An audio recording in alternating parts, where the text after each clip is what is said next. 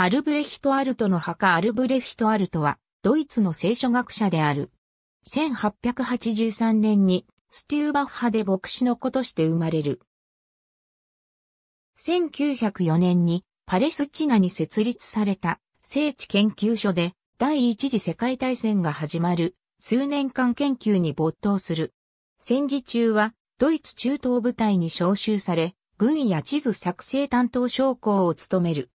このことを通して得た聖地の地理の知識をもとに、新しいイスラエル史の研究を始めた。大学教授資格取得のために、イスラエルとエジプトという論文を作成する。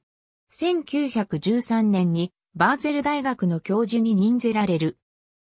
1913年の論文ではソロモンによって設定された行政区分を描いた第一列王記4章の地区境界表の検討を行い、イスラエル国家の構造と地理上の境界に関しての問題を提起したまた、1925年の論文では、イスラエルのカナン征服を再構成する研究をし、1927年の論文では、王国以前のイスラエルの構造と組織問題について、新しい考えを提供した。